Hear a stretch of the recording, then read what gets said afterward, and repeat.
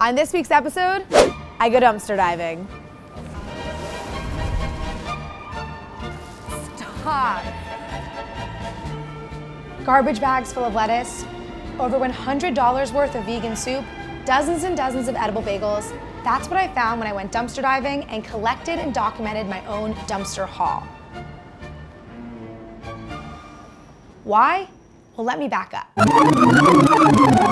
I am obsessed with following dumpster diving accounts on Instagram and TikTok. And I'm constantly shocked and outraged by the stuff they find that retailers throw out every day. Like 800 eggs, 157 packets of bacon, a baby Brezza that retails at $200, Halloween costumes, and most shocking, thrift stores that throw out donated goods.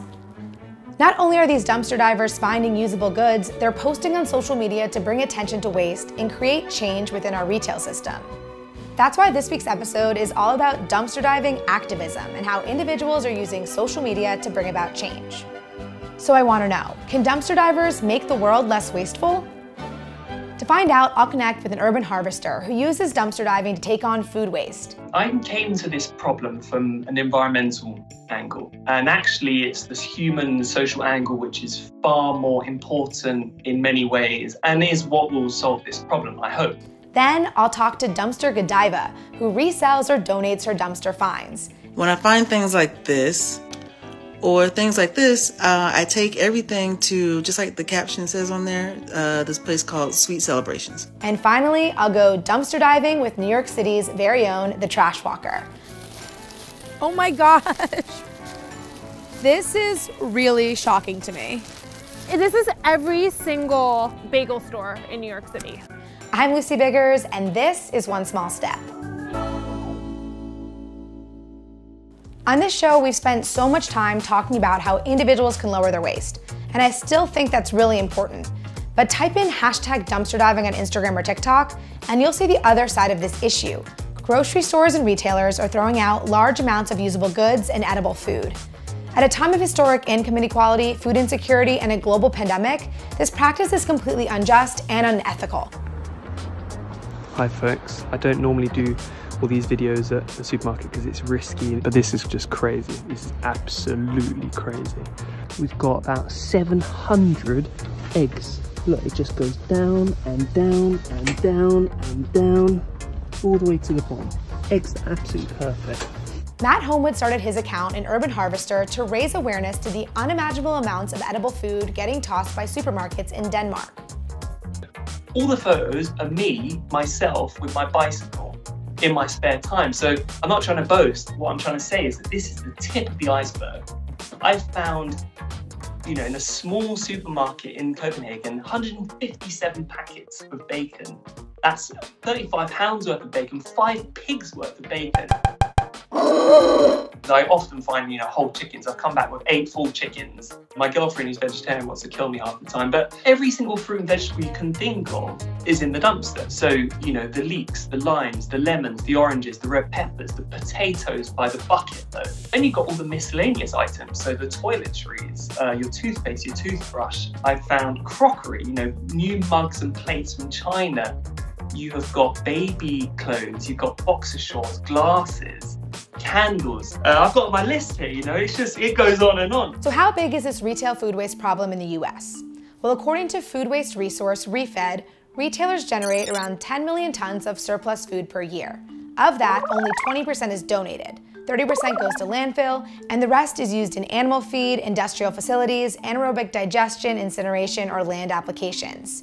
One of the reasons edible food gets tossed is when the product doesn't sell before the use by date.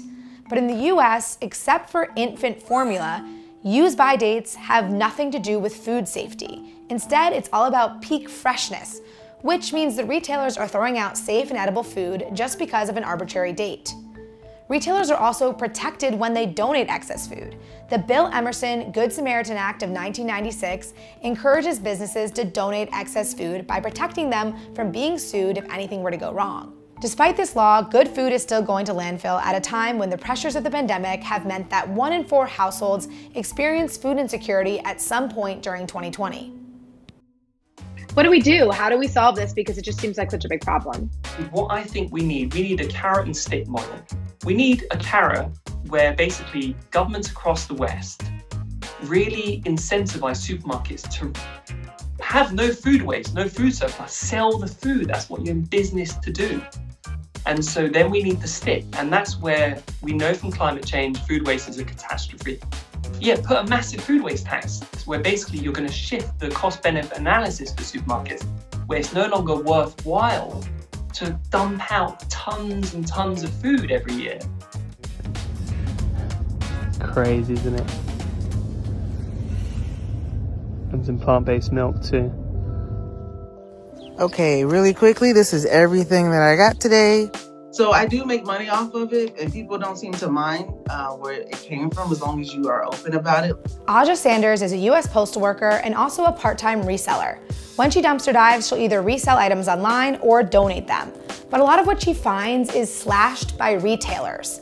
Two days ago, I found two leather bags that they had cut up but um, had they not been cut up, the retail for those, one of them is $300, which is very nice. And then I don't know what the retail for the other one is, but it's probably around 175 200 The practice of destroying unsold products has been written about before. Companies have a thing about uh, protecting their brand, protecting the image of their brand. And so there are companies that cut things up all the time because they don't want, you know, poor people uh, who dig in the trash to be wearing their items and have their name displayed on them. Destroying unsold products is often referred to as damaging out, and it's such a common practice that France recently banned companies from destroying clothes, cosmetics, and unsold goods. When you say to yourself, well, why do they need to cut these pants up when there are people out here who need pants? There are kids out here who are begging for school clothes. I wish they would have done made a better decision about what to do with these items versus putting them in the dumpster because now I have the opportunity to go and save this myself, whereas you could have eliminated me, the middleman, really, essentially, and just done this yourselves. After talking to Aja and Matt, I had to try dumpster diving for myself. So I met up with Anna Sacks, aka the Trash Walker, outside a juice store in the Upper West Side of Manhattan. It is 8:45.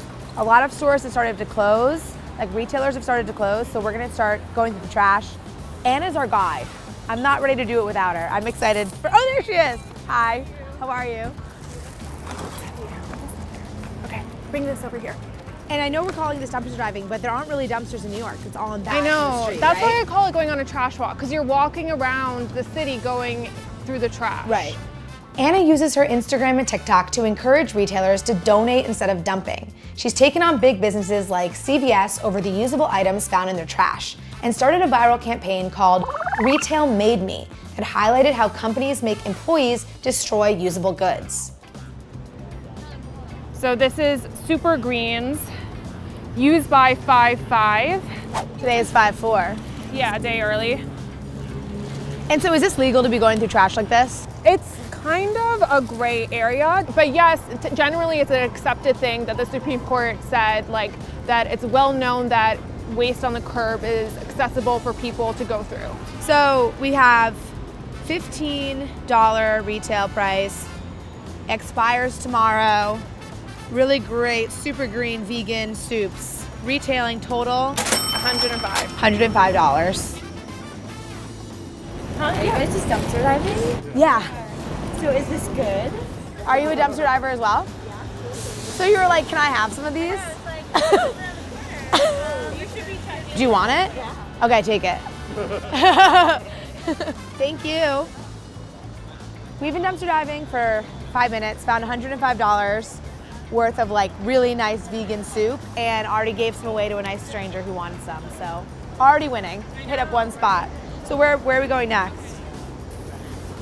So that was probably return. Lemon face scrub. Cosmetics that are returned are tossed. According to one estimate, returned inventory creates 5.8 billion pounds of landfill waste each year. So why are things getting thrown out in your experience? Um, a lot of it is inventory related to past holidays. So if you think about Mother's Day is coming up, they'll have the stuff for Mother's Day on sale for maybe a week, and then they need to make room for Father's Day. And so it becomes the out with the old, in with the new. Next up, Anna took me to a bagel shop. Oh wait, they're still packaged.